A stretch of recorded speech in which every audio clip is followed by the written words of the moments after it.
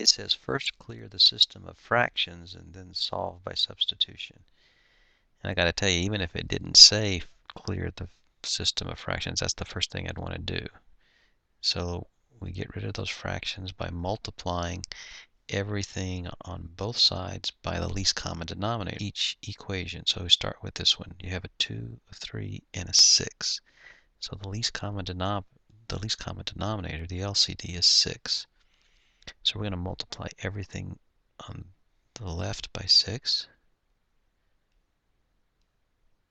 And then the only thing on the right by 6. For the second fraction, the LCD is, we got a, a 4, a 5, a 4, and a 10. So the LCD here is going to be 20. So we're going to multiply everything by 20, both sides. All right, and so when we do that, the uh, 2 goes into 6 three times, so we have 3x. 3 goes into 6 two times, so we get minus 2y. The 6's cancel, so we just have 5. For the second equation, 5 goes into 24 times, so we've got 4x. 4 goes into 25 times, so I've got minus 5y is equal to uh, 10 goes into 22 times. So I've got 2 times 29, which would be 58. All right, this system of equations looks a whole lot simpler than the first one. I mean, it's still not the greatest thing in the world because to solve by substitution, I need to solve either this equation for x or y or this equation for x or y. And neither one's going to be that easy, or one's no more easy than the other, I'll put it that way. Um,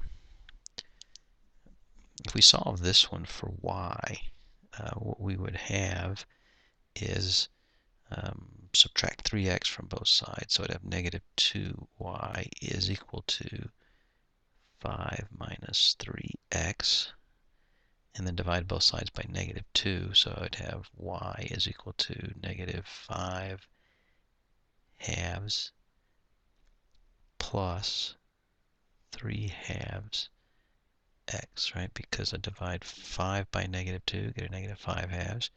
Divide that negative 3 by a negative 2. The negative divided by negative makes it a positive 3 halves.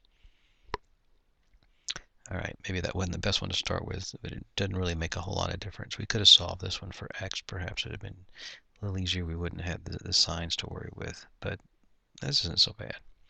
So I've got a solution. I've got a y is equal to this stuff. So I'm going to take this expression for y and plug it into the second equation.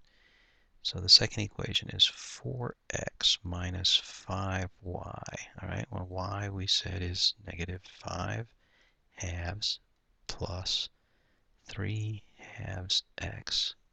That's equal to 58. Let's distribute the negative 5 through the parentheses, and we get 4x. Negative times negative is a positive 25 over 2. Negative times a positive is a negative 15 over 2x, and that's equal to 58. All right, now let's go ahead and get rid of the fractions now because we can't do too much else without getting rid of those fractions. So um, multiply everything by 2. This times 2, that times 2, that, and that. Now, that gives us 8x here, plus, well, the 2's cancel, so it's just 25 here the 2's cancel, so it's minus 15x is equal to 2 times 58 would be 116. All right, now let's see. Let's combine our like terms. 8x minus 15x is a negative 7x is equal to, and you take 116 minus 25. 116 minus 25 I think was 91. Let's check. Whoops.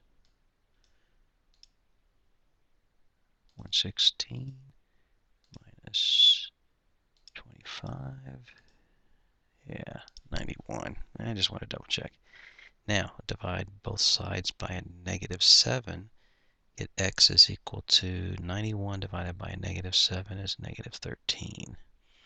Okay, we got a value for x. We're almost there. Now we want to solve for y. Well, here's the expression for y right here, so let's work with it.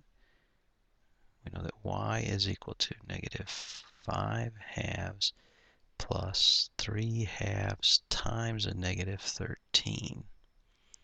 So that means y is equal to negative 5 halves. Well, it's going to be 3 times 13, but it's a negative 13, so it's going to be minus 39 over 2. So that means y is equal to a negative 44 over 2. So y is equal to a negative 22. All right, so at least we don't have these fractions in our answers. So I have the solution negative 13 for x and negative 22 for y.